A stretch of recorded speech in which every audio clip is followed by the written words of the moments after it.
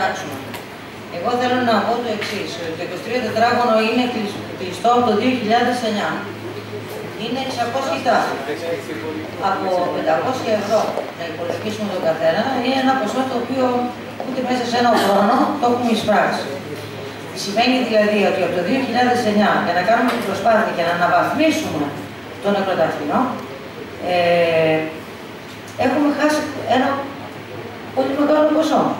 Σημαίνει ότι ήρθε η ώρα που πρέπει να ανοίξει για να εισπράξουμε τα ποσά που χάσαμε. Αυτά τα 50 χιλιάρικα θα τα πάρουμε πίσω σε λιγότερο από ένα χρόνο. Όσον αφορά ε, τις κάμερες ασφαλείας, είναι κάμερες ασφαλείας το, το νεκροταφείο αυτή τη στιγμή. Δεν μπορεί να μπαίνει και να κλέβει ο καθένας ό,τι θέλει και να μην υπάρχει μια φύλαξη. Εδώ ο κωδικός, η κωδική αυτή που βάλαμε, τα ποσά, είναι ενδεικτικά με μια πρόχειρη μελέτη, γιατί δεν υπάρχει κωδικός.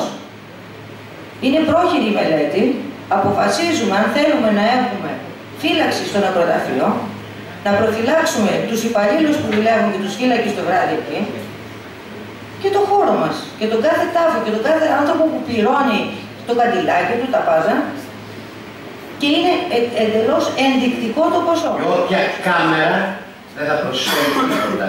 Δαπάνη και καταστροφή, διότι είναι πολύ εύκολο στη μάντρα του νεκροταφείου αυτά τα ηλεκτρονικά μέσα την ίδια βραδιά θα τα βάλουμε να τα διαλύσουμε.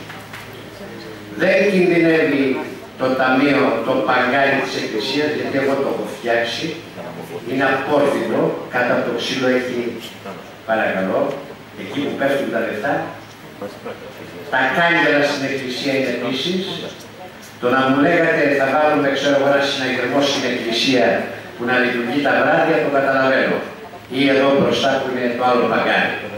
Το να βάλουμε τώρα στο Λαζαρίδι το σπίτι, που είναι από την κάτω μεριά και στο άταλο που πάνω το γήπεδο μια κάμερα, όχι απλώς θα τις σπάσουν, θα τα εξαφανίσουν για να τα χρησιμοποιήσουν αλλαχού. Ναι, τι θέλετε να, να φημώσουμε τον Δήμαρχο να μην την άποψη της.